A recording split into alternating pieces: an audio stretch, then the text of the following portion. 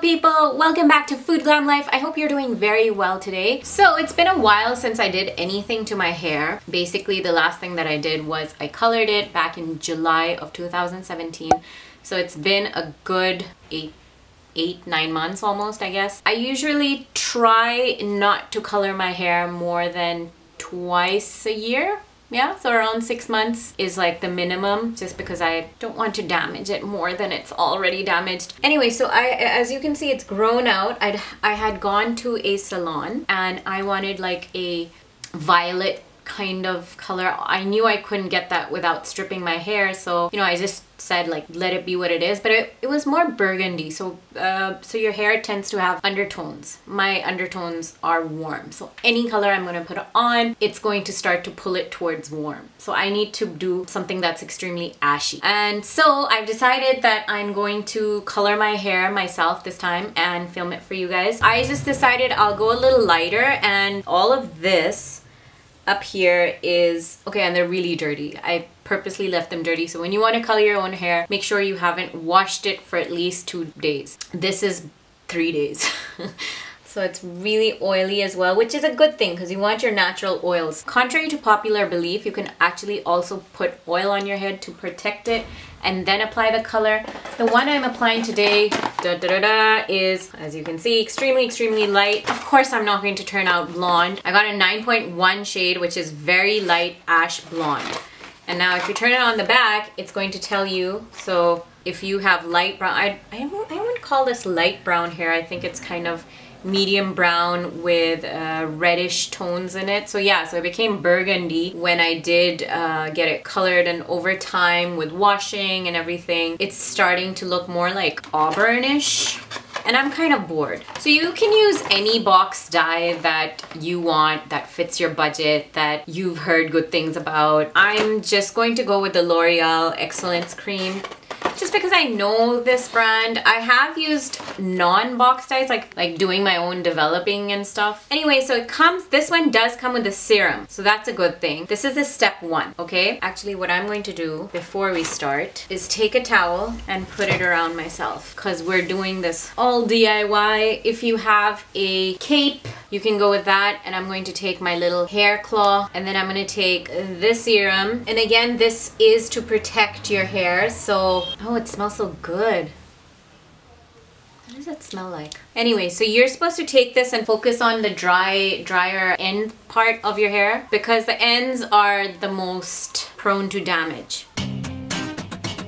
Now what's going to happen is there's going to be a little bit of a difference because this part till here is virgin hair, okay? So it has not been touched, it has not been dyed. And this is pre-treated hair basically. The way you apply your box dye or any color, obviously a professional hairstylist will know exactly what needs to go where and how much time it needs to go. But you know, at the end of the day, it's just hair. It grows out. If you mess up, you can always get it fixed again. You know when people get their hair cut and, and then other people are like, why did you cut your hair? What did you do? And it's like, it's okay. It'll grow out. Like, I got, you know, in 2016, I got a lob. I loved it. And look, look at how long my hair is now again. The only difference is I used to, when I ever had longer hair, I used to have lots of layers in it. But since I got the lob, I just left it straight. I'm gonna take the rest of the contents out I have a pair of gloves which is great. Keep this, I always keep this. You can put like cotton balls in it and take it when you travel. Okay, so before I put these on, I like how they've numbered everything. So the rest of the contents are number two and number three. These are your colors basically. And then this is the conditioning balm, which is basically your conditioner. What you need to do is take number two. This is your color. There's a point at the end. You're going to pop open this seal and then you'll take your number three which is your bottle. And then you also have an applicator comb but you're gonna not use it right now and my towel popped open. So uh, we're not going to unseal this just yet. We're going to take all of the color and empty it into this. This is pretty straightforward. This is what the instructions will tell you as well. As you can see I got everything. It's completely empty smells so bad. By the way, this one is low ammonia. It's not ammonia free. So, good shake. Get my gloves on. Use gloves. If you're using a darker color, it's a good idea to put some cream or something around the edge of your face. It's just easier to clean up. Now I'm going to take the seal off and then I'm going to use the brush for my roots. Okay, you guys, that was an epic fail. I'm trying to look into the monitor and do it and it's upside down. So I'm gonna shift towards the mirror and then we'll do it that way and you can watch.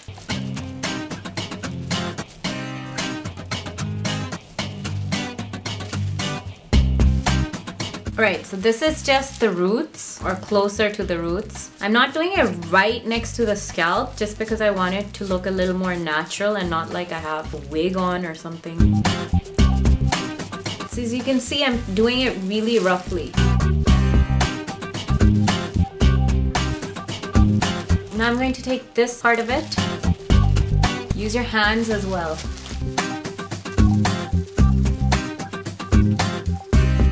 What I like about this is it kind of will give you more of like a highlighty kind of look.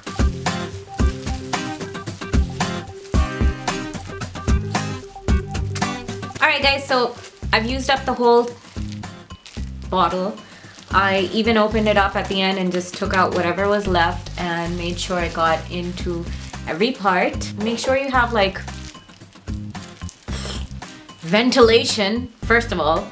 and then like a newspaper or some paper just to put your bottle and your dye and stuff on because it's going to start coloring stuff around it so if you don't if you don't want stuff to be ruined then make sure you do that and use an old towel now what I'm going to do is I'm going to just take all of this dye that I've put on and sort of rub it into my head like and once I do that and I made sure that it's gone through all the strands I'm gonna do, you know, sort of rub it on my roots, on the back of my head, down the strands. Make sure you rub it in really well so you've covered pretty much everything. And honestly, I thought I wouldn't be able to get all my hair because my hair comes down almost to my elbows. I thought one box might not be enough, but for my length, it's fine. I think they give you a pretty decent amount. So once I've done that, what I'm going to do is take all of my hair and I'm just looking to see if I dropped any on my white sofa.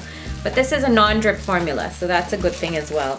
I did get some on my clothes, but that's because I'm just clumsy. Anyway, so I'm gonna take all of it and then take the same clip and clip my hair up. And then what I'm going to do is I'm going to put on a shower cap or you, you can just use like a shopping bag as well. So I'm just going to take a regular sh shower cap and cover my hair with it. There are two reasons for this. One is you won't get your color on things that you're leaning on. And second, your, your, it will create some heat which will help um, the color sort of grab onto your hair better. Okay, so now what we're gonna do is it's 6.40 right now. I'm going to let this stay for 40 minutes, not 30 minutes as I'm saying. I'm gonna leave it for 40 minutes. So I'm gonna put a timer and then I'll see you after that. Hi guys, I'm back and my hair is washed and the color is there. The bottom of it, I guess, is not too different, but at least it got on the roots. So a few things that I want to point out and talk about before I end this video. First of all, as you can see, I got something that was so super duper blonde. I mean, it was very light ash blonde, but as you can see, there's really nothing to worry about. Once you see something like that, usually your first reaction is like, oh my god, I don't want to be that blonde. But relax, you're not going to become this blonde. A box dye will never get you this blonde, okay? That's why they sort of have these at the back. They're not always the most accurate, but you get more or less of an idea. So I guess it's kind of like that what my color came out to be. Yeah so unless you bleach or strip your hair you're not going to become like a platinum beachy whatever blonde. None of that's going to happen. Now as I told you before the undertones of my hair are very warm. So even though this was an ash blonde and a very light ash blonde it still pulled more red. And that's just what it's going to do generally. And especially with a box dye it was bound to happen. But if I had used something like golden blonde or something like that, it would probably turn really, really orange. At the moment, it's more like a caramel color and it's more like, you know, you can see sort of highlights going through in certain areas. So that's kind of great. I'm happy with that. You see like over here and stuff right here. So, you know, I could always go back in like a week or so and, and sort of experiment with a light color again and see where it goes to, but I'll see where I want it to be. So when I had it on for 40 minutes uh, at around uh, right before the timer went up, like around five to seven minutes before, I took off my shower cap and I slightly wet my fingers and kind of rubbed in the color again, like the way you would do with a shampoo and I went through the lengths of it as well. And that's, that's basically something like, I think that's called emulsifying and it sort of just helps the color set in better. and I put my shower cap back on and then around 5 to 10 minutes later it was time and then I washed my hair. Now with box dyes, you have to remember that you don't need to put on any other shampoo. Your dye kind of works like a shampoo. So that's what you're going to just wash out of your hair and make sure the water runs clear. And then uh, make sure to use the conditioning balm or whatever that they provide with the box. Now this one is called a conditioning balm. It's usually like a conditioning mask. And unlike other conditioners where you would normally uh, avoid your scalp or the top of your head and only put it on the bottom or the lengths of your hair, you're gonna use this wherever the, the dye went. So if you put it all the way up here, you're gonna put the conditioner all the way up. It's, it's formulated differently. It's not really gonna weigh down your hair, but it really adds like a nice shine and a gloss, which you really want after a coloring job and they give you enough to last you a few washes so make sure to keep using it. Also make sure whenever you're shampooing you know it's a given use a good shampoo for color treated hair. Try to use a shampoo that has no sulfates or at least lower sulfates because that's also very damaging to your hair and for the color. Another thing you should know is that anytime you get your hair colored whether you do it yourself or you get it done by anyone else if you've already colored your hair you would know this already but this is for those people people who probably doing it for the first time, you should know that your color sort of settles in after a few washes. So the first wash is never really going to tell you what your color will be like. It takes a few weeks and you know washing your hair and shampooing it a few times for the color like what it's going to be in the long term. You'll see that after a few washes. And especially if you have like darker hair color like a red or a purple or a black or whatever, you'll often see that coming out every time you shampoo your hair for like a month or so.